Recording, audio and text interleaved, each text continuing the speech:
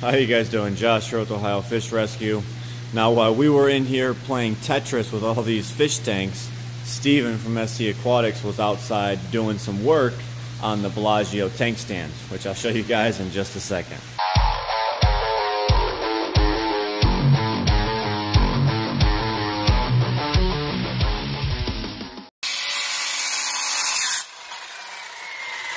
What, what you doing, bud? Oh, cutting some steel. so he's actually almost done with this entire stand. He's making the last cut here. This is the last cut, That's right? the last cut. Then the whole top will pop off. So we can go ahead and give you a little look-see here. Cut all the way down. So our plan is we're going to go ahead, well, Steven's going to. He's going to take the angle grinder here and he's going to make this flat. And then we're going to cut three foot out of the, these poles and uh, we're going to leave 18 inches up from the bottom plus the two inches here. The stands will be 20 inches tall for the Bellagio tanks to sit against the wall in the fish room here. As you guys know, we moved all of these tanks in here. So this is cleared out for one and a half of a tank. So they're basically gonna go right in against this wall, stick out three foot, and they'll be covering this whole entire wall.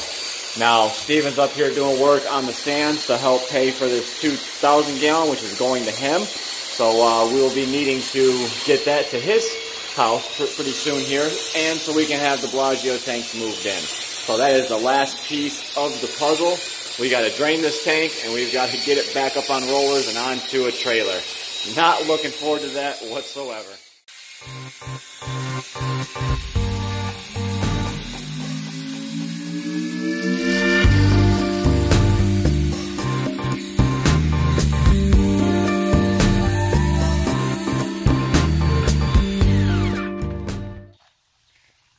Have it. He is cut through. Actually, he's got a little, Little tiny spot. little spot right on this inside edge, but that is what you deal with. He is using a skill saw with a steel de demon blade on it for the circular saw. Cuts through steel like it's butter. Just not welds. Alrighty, my cameraman just came out, but uh, we already took the uh, top of the stand off.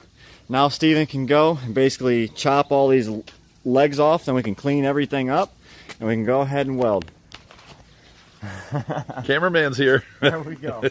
so if you you guys can see here, he basically cut right through the, the, the weld, so he's got to come back with an angle grinder, clean this up, up a bit, and then right where he's going to cut these at 18 inches from the ground, they're going to be cut, cut off flat, and then we're going to basically join the bottom to the top again, and then he's got to Well, he's going to. have at it and uh, have some fun, you know.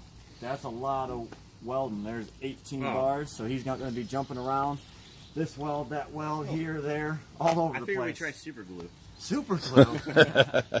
Here we have it. Steven's back at work. He's now working with the angle grinder. He's almost got this done, but he's uh, flattening all these out so we can go ahead and get to welding.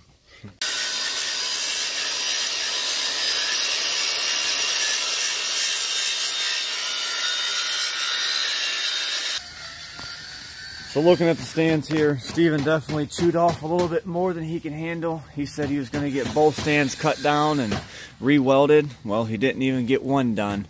But he is coming back next weekend to go ahead and finish up the welds. He got all these grinded down. So this piece is prepped to be re-welded.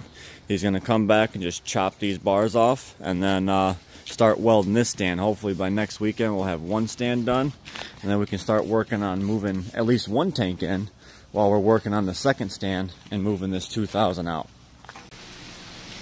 So coming back in here to the pool room or the monster pond room, we uh, have a big mess in here to clean up, of course, but uh, the, the, the boys that helped us, I can't thank them enough. Everyone came together and made this move happen. I wouldn't have done it without you guys.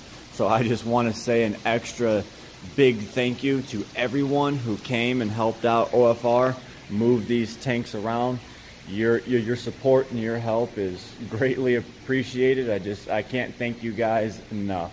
It was just insane to, to see how much support we actually get and we actually pulled this big giant move off. But I want to take you guys over and basically show you the, the, the plans for these tanks.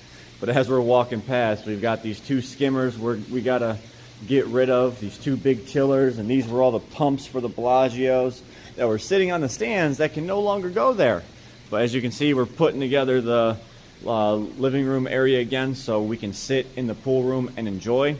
Here goes the two big giant sumps that came off each Bellagio tank. Each sump is uh, 4 by 30 by 3 and these are big, huge acrylic sumps with a lot of media in them.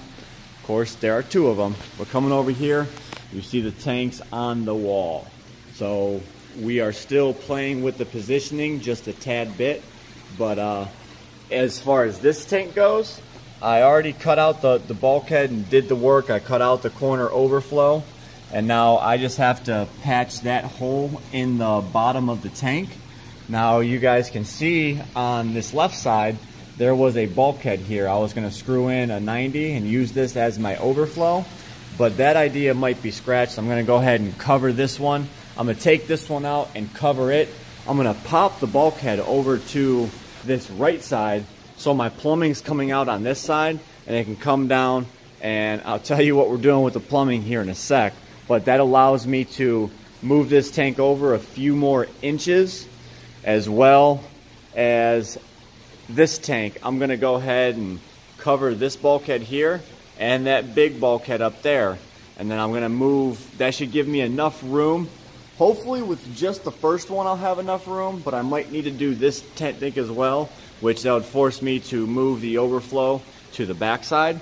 And then I can move this tank over just enough to where I can slide it back into position and it won't be sticking out as much because when you're walking in, in, the room, because of that beam that's basically right up there, it's sitting in front of it. So we can get this back another four or five inches so the tank won't be protruding out as much.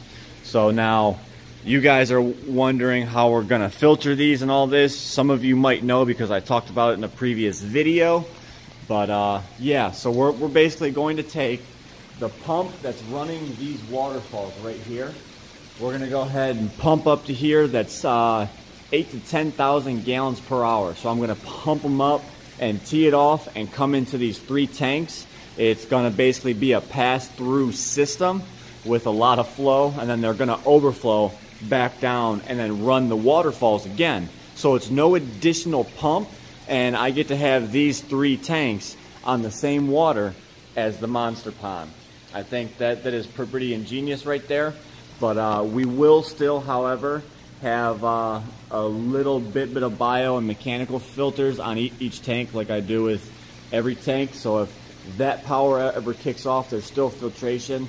Or if that pump ever kicks off, there's still filtration on each tank to keep it sparkling clean. And there's going to be no debris settling on the bottom of the, these tanks.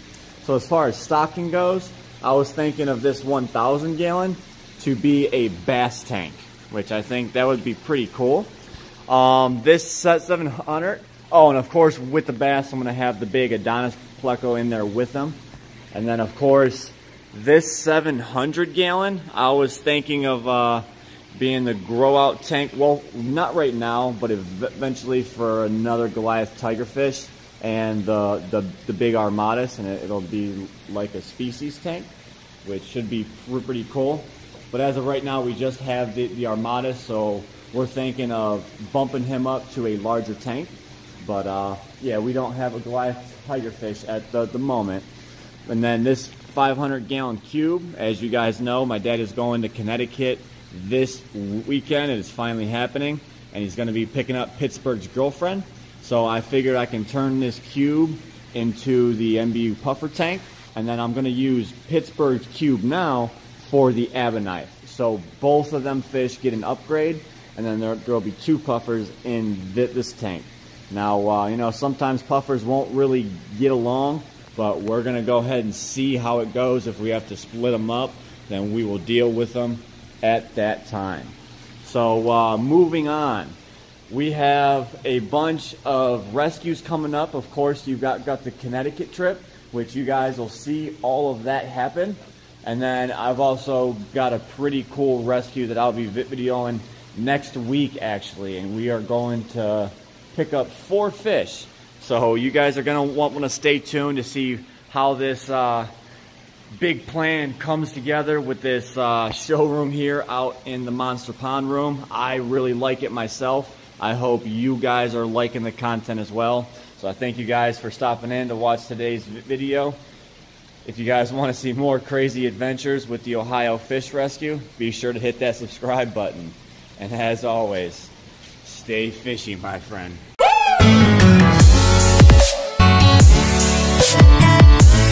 Thank